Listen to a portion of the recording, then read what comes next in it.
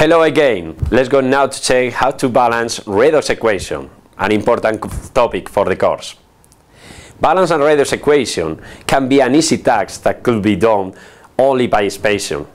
For example, for the following reaction of sodium with water, we only need to write a half in front of the molecule of hydrogen in order to have the same amount of atom in both sides of the equation. However, for more complicated reaction, we should use a method that helps us to accomplish this task. A convenient method involves the employment of oxidation numbers to obtain a properly balanced equation. This method is known as oxidation number method, which is based on a set of rules that we need to apply.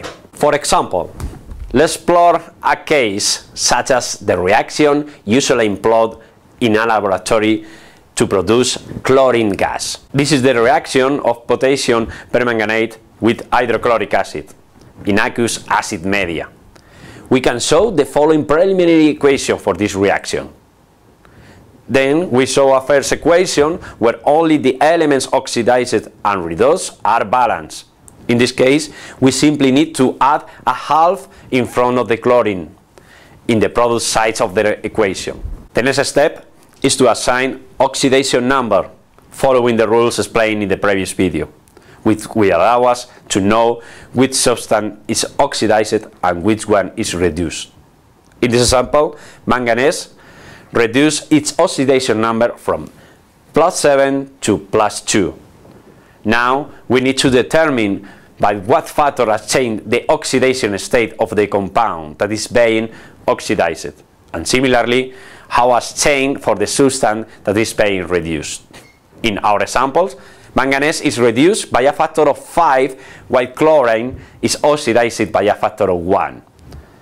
Once we know both changing factor, we need to adjust the ratio of both compounds. The substance that is reduced and the compound that is oxidized in order to fulfill the following rule. In a balanced equation, the total change in oxidation number is zero.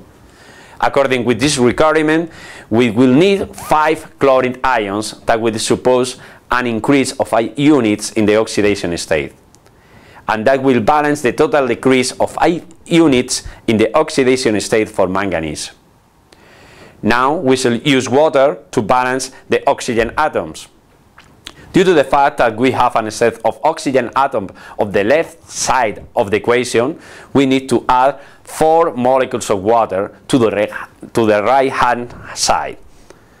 Finally, since the reaction takes place in aqueous acid solution, we now add the appropriate number of H plus ions to complete the balancing. Therefore, 8 H plus ions are added to the left hand side of the equation. The reaction can be doubled to show it in a more convenient way to finally obtain our final equation. It's quite convenient to do as our last step, check if the equation is balanced with respect to charge. In our case, we have 4 positive charge on the left hand side as a result of subtract the 10 negative charge of chlorine ions and the 16 positive charge of protons. This net positive charge of plus 4 on the left side of the equation with exactly balanced with the plus 4 charge on the right hand side of the equation, generated by the two manganese ions with charge plus 2. It's important to know that if re the reaction had happened in a basic solution, we would have assigned hydroxide ions to each side of the equation to balance it out the amount of hydrogen ions.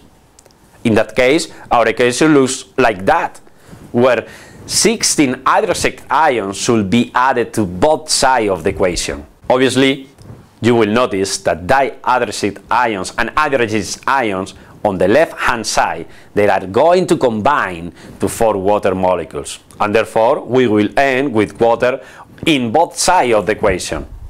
We need to reduce the state of water that in our example is on the right hand side. That finally we conduct to our final equation in a basic solution. In the next video, we will explain another method to balance redox equation that is known as ion electron method.